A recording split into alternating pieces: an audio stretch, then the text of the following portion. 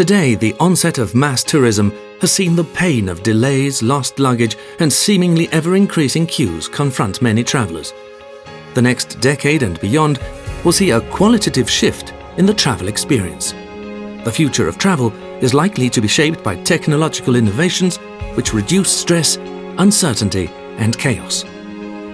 At every step of the journey, travel will be enhanced by greater and more fluid interaction with other travelers and travel providers.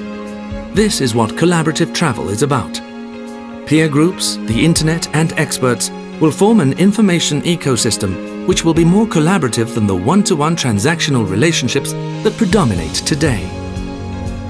Collaborative travel will have a great impact in different areas of the travel experience.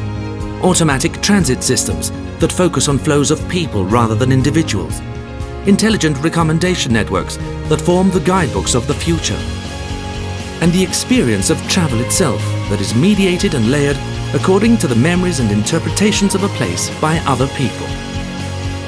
What will this entail for travel providers? Making sense of large quantities of data across multiple channels, working to integrate travel services and helping people connect with travelers who share similar experiences.